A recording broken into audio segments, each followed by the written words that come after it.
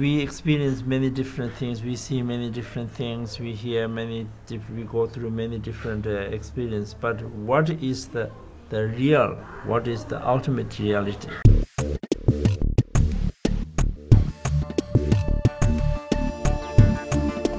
I'm trying to find out all the time who am I? Why I have been born into this world?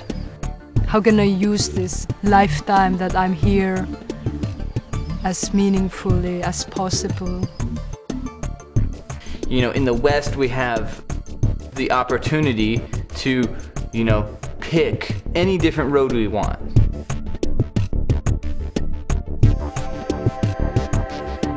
I felt, you know, there's got to be more to life than just having a mortgage and having 2.5 kids and a dog. I had a real sense that I've got to find the meaning of life. It's like a matter of desperation.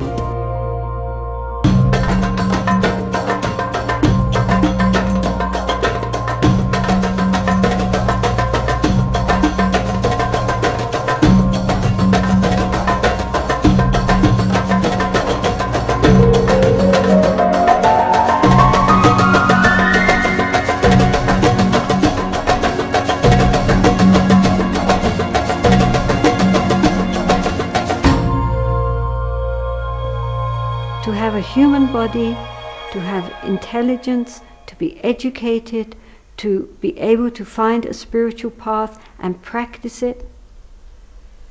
That is extraordinarily rare in this world.